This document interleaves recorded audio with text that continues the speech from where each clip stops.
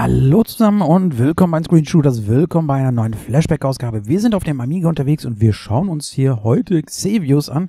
Xevious ist ein ganz, ganz, ganz frischer Port von einem Arcade-Automaten, der 1983 rausgekommen ist. Das Spiel wurde jetzt erstmalig tatsächlich 2023 für den Amiga portiert. Das Ganze bekommt ihr bei itch.io. Verantwortlich dafür ist Joe TD666.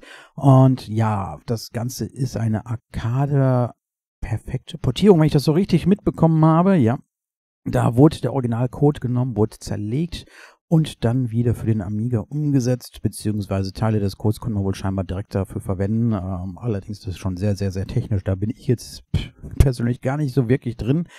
Ähm, auf jeden Fall wurde das Spiel eins zu eins für den Amiga umgesetzt. Es läuft nur auf dem Amiga 1200, wenn ich das hier so richtig gesehen habe. Ich kann es auf dem 500er nicht testen, weil ich den 500er hier nicht mehr aufgebaut habe.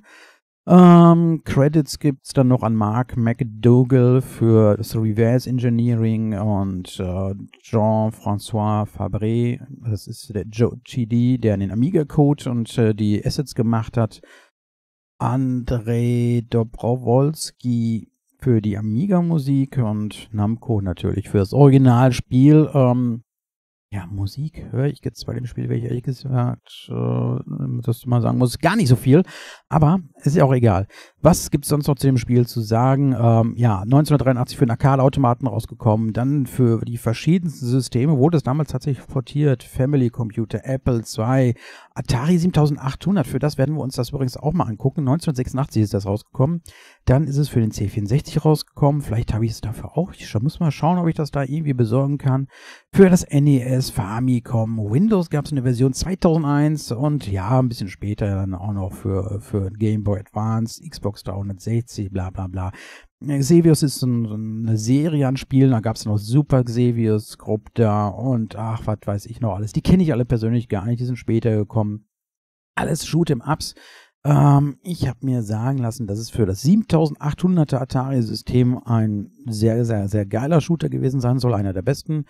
Keine Ahnung, ich würde sagen, wir springen jetzt mal hier rein. Wir brauchen unbedingt ein Zwei-Button-Joystick, weil anders kann man hier die Bomben nicht abschmeißen. Äh, da wurde nichts auf die Tastatur gelegt oder sonst irgendwas. So, das sind die Bomben, die ich gerade hier abgeworfen habe. Und hier ballern. Ballern, was das Zeug hält. Und die Gegner werden hier dann mal eben vom Bildschirm geputzt oder noch nicht. Das werden wir alles uns gleich nochmal hier anschauen, ob ich das schaffe. Bam, hier Bombe abwerfen. Die landen genau da, wo das Fadenkreuz ist. Oben links steht, welcher Player dran ist. Zwei Spieler sind möglich. Ups. Äh, die Highscore habe ich persönlich noch nie geknackt. Und unten links seht ihr die Anzahl Leben. Zwei Stück haben wir noch. Also ein bisschen können wir hier sterben. Aber das Spiel, das verzeiht dir auch nichts. Ne? Also das ist, bam, schon fies. Hier gibt es kein Versehen, bist du getroffen, bist du tot. Da gibt es auch, ich habe zumindest nichts gefunden, dass es hier irgendwelche Power-Ups gibt. Also mit dem, was man hat, muss man durchkommen. Oder auch nicht. Das werden wir sehen. Also ich, ich denke mal, es wird eher ein oder nicht werden. Da, da, da, da. Aufpassen. So. Ja, wie gesagt, Musik höre ich jetzt nicht viel. Ich höre noch im Hintergrund diese leise. Keine Ahnung, ob das die Musik sein soll. Äh, aber viel Musik ist jetzt gerade nicht. Soundeffekte, ja. Ein bisschen schießen, ein bisschen, ja. Das war's. Brauche es jetzt aber auch nicht. Lenkt nur ab. Wir kommen auch so zurecht, finde ich.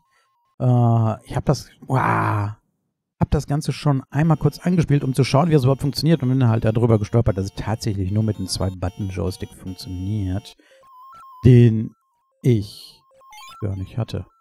Deswegen zocke ich das jetzt mit äh, einem Adapter für das SNES e und einem PlayStation Controller. Ich hätte jetzt äh, auch den Commodore-Controller nehmen können, aber den habe ich hübsch verdrahtet. Nein, verdrahtet natürlich nicht, aber der ist an meiner Atari 2600 dran. Wollte ich das Ganze jetzt nicht abzupfen. Wenn ich doch eh das andere jetzt hier habe. ist jetzt gerade auch wegen der Reichweite oder wegen der Erreichbarkeit von, von, vom Funk her mit dem PlayStation Controller angenehmer. So. Bisschen konzentrieren hier. Wie gesagt, das Ganze äh, verzeiht hier nichts. Aber gut ist, dass die Gegner so ziemlich zumindest immer in den gleichen oh, Wellen ankommen. Eieiei, eieiei, eieiei, eieiei. Ah. Was eine fiese Nummer. Den Wellen muss man auch erstmal entkommen, die da waren. So, was ist das hier? Ach, du ahnst es nicht. Das geht scheinbar nicht kaputt. Okay. Dem muss ich irgendwie ausweichen, damit ich durch die Nummer hier durchkomme. Okay, okay, okay, okay. Richtig fies. Aber wir haben es geschafft. Ist doch schon mal was. Oh, da kommen jetzt schon die ersten Gegner wieder. Arschis. Wir wissen uns ja zur Wert setzen. Zu sitzen. Oh. Ja, ja, ja, ja, läuft. Mal ein bisschen den ganzen Kram hier ausweichen. Man muss nicht alles abschießen. Manchmal muss man einfach nur oh, den Jungs einfach nur aus dem Weg gehen. Ist schon wieder so einer, der hier wild um sich schießt. Wo ich irgendwie... Boah, das war knapp. Hehe. Loser. Gut ist halt, dass die Bomben, wenn man sie droppt, tatsächlich dem Fadenkreuz folgen. Das heißt, man kann sie abwerfen und dann noch ein bisschen steuern. Und so, oh, das war zu knapp. Und so kann man dem Ganzen noch mal ein bisschen nachhelfen. Wollen wir noch eine kleine Runde machen hier? Ja, komm, wir springen noch einmal kurz rein. Push, Start Button, Player One, ready. Und dann springen wir einmal rein. Eine kleine Runde machen wir. Denn die Nummer bockt. Es gibt jetzt bei dem Spiel keine, keine Extras oder sowas, die bei der Portierung eingebaut worden sind, sondern das orientiert sich wirklich am, oh, das war knapp, das war knapp, am Arcade-Automaten. Und äh, ja, finde ich jetzt gar nicht so schlimm. Muss nicht mehr Extras geben. Sondern einfach nur das pure Spiel. Und dann ist gut. Vielleicht hätte man. Aber das warum, nein, hätte man nicht. Ich, ich, ich, es ist eigentlich schön, dass das überhaupt jemand sich die Mühe gemacht hat, das Ding zu portieren. Und gibt es kein vielleicht wäre, hätte wenn oder sowas, sondern ist einfach nur geil. Wie gesagt, zu bekommen bei itch.io immer mit Name Your Own Price. Vorgeschlagen sind da 5 Dollar. Ihr könnt mehr oder weniger zahlen. Das ist ja jedem selber überlassen da. Das, was einem halt das Spiel wert ist. Oder man meint es ein Wert zu sein. Weil meistens weiß man ja vorher nicht, ne, was man bekommt. Aber ich würde schon sagen, dass das Spiel hier sein Geld wert ist.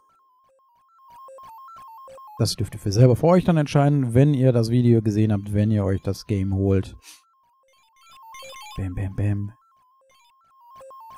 Wie gesagt, jetzt die, die, die C64-Musik, äh, C64 Amiga-Musik, was jetzt hier erwähnt wurde, die, die höre ich nicht. Nur ganz, ganz, ganz leise so. Keine Ahnung, was das ist. Das ist tatsächlich nur bei dem Spiel jetzt hier so. Bam. Ah! Oh, das, das war jetzt aber vorhin wieder, ne? Also man muss schon ein bisschen aufpassen, wenn man die Gegnerwellen so ein bisschen drin hat, dann kann man ja sicherlich das ein oder andere abfangen, ganz klar. Aber trotzdem gehört auch noch Glück dazu, dass man immer richtig steuert. Dauerfeuer automatisch drin. Man muss hier also nicht Button-Smashing oder sowas machen. Mein Controller dankt es mir auch denn definitiv wird man hier rumballern wie so ein Geist Bam, geisteskrankes Kaninchen. Genug Gegnerwellen kommen nämlich hier. So. Tick, tick, tick. Das Spiel nutzt allerdings, das, das hatte ich noch gemerkt, einen etwas komischen Bildschirmmodus. Ähm, ich hatte, als ich das Ding angeschmissen habe, oben nicht die Highscore sichtbar und auch nicht meine Anzahl der Leben. Da musste ich Bild ein bisschen nachjustieren. Hätte ich jetzt die Indie-Vision äh, nicht drin gehabt, dann hätte ich höchstwahrscheinlich das gar nicht machen können. Ich weiß es nicht, ich weiß nicht, wie das äh, ist ohne Indie-Vision.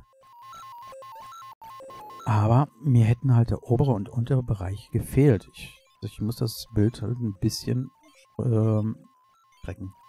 Zusammenstauchen, damit die Bereiche sichtbar werden. So. Ja, das, das wird höchstwahrscheinlich äh, ohne Indie-Vision anders aussehen, weil da die Bildschirmmod der Bildschirmmodus anders durchgereicht wird. Keine Ahnung. Das ist halt jetzt ein Problem, was ich hier hatte. Also solltet ihr eine Indie-Vision drin haben, bam, das war's. Könnte sein, dass ihr auf das gleiche Problem lauft. Da kommen jetzt Grafikfehler. Das ist ja spannend, äh, dass ihr auf das gleiche Problem stößt. Dann einfach dran denken, man kann ja bei der Indie-Vision das Bild ein bisschen justieren. Und dann sieht man auch alles und dann ist auch alles feini.